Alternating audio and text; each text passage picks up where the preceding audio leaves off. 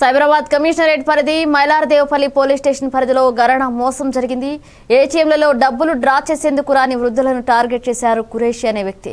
ఏటీఎంల వద్దకు వచ్చే వృద్ధుల వద్ద డబ్బులు డ్రా చేస్తారని చెప్పి ఏటీఎం కార్డు తీసుకుని డబ్బులు రావడం లేదని తిరిగి కార్డు ఇచ్చిన తర్వాత డబ్బులను డ్రా చేసుకున్న మూడు కేసులలో ఇతను నిరస్తుడు. అయితే తాజాగా మైలారదేవపల్లి పోలీస్ స్టేషన్ పరిధిలో ఇదే తరహాలో వృద్ధుడిని మోసం చేయడంతో వెంటనే బ్యాంకుకు వెళ్ళి అడగడంతో డబ్బులు డ్రా చేసినట్లు స్టేట్మెంట్ వచ్చింది.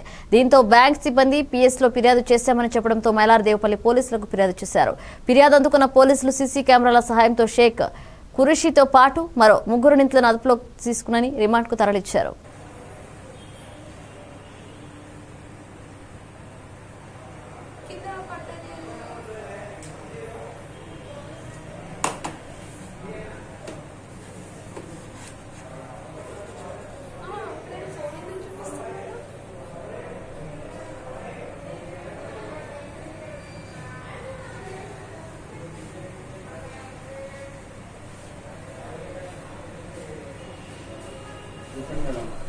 పాస్వర్డ్ కూడా క్లియర్గా చూస్తున్నాం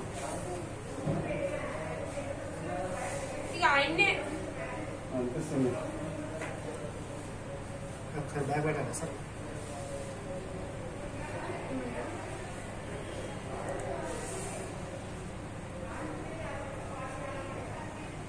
మళ్ళీ ఎందుకు ఇంతసేపు?